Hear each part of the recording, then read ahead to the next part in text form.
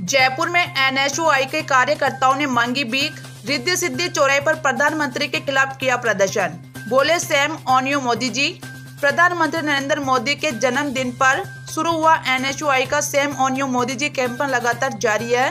गुरुवार को इस कड़ी में एनएचओआई के कार्यकर्ताओं ने मानसरोवर के रिद्धि सिद्धि चौराहे पर भीख मांग प्रदर्शन किया। इसी दौरान बड़ी संख्या में युवा वाहन चालकों और राहगीरों से कटोरा लेकर मदद मांगते नज़र आए। इसी दौरान लोक कॉलेज अध्यक्ष राजेंद्र गोरा समेत एनएचयूआई के चादर नेता मौजूद रहे।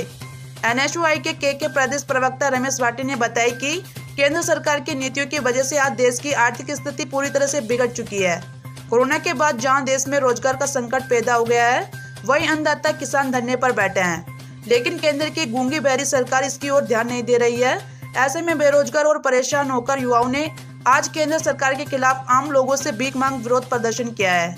ताकि देश के युवाओं की आवाज़ प्रधानमंत्री तक पहुँच सके। Bureau report Jaipur.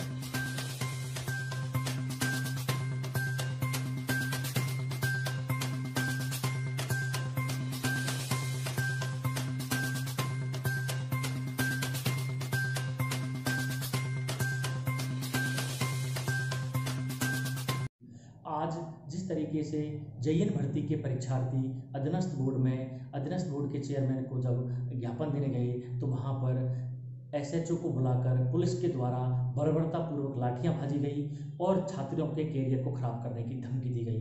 पुलिस प्रशासन ने गुंडागिर्दी करते हुए दो छात्रों को गिरफ़्तार किया और मेरे साथ भी दुर्व्यवहार किया। इस तरीके से सरकार की तानाशाही और पुलिस प्रशासन की गुंडागिर्दी का कारण आम छात्र डरा हुआ है। हम लोग लोकतांत्रिक तरीके से सांकेतिक प्रदर्शन करना चाहते हैं। लेकिन पुलिस द्वारा बार बार छात्रों को डंडे की नोक पर और कानून का भय दिखाकर डराया जा रहा है। कल विद्यार्थी परिषद ग्यारह बजे फिर से वहाँ आंदोलन करेगी। होशियार मीना, प्रदेश मंत्री।